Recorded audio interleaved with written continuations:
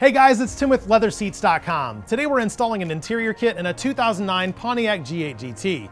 We still have the factory leather on the driver's seat, and as you can see, the leather's wearing out and it's shrinking to the point where it's no longer comfortable to sit in. Our goal with this project is to bring some comfort back into the seats while adding some bright red to the interior to complement the exterior.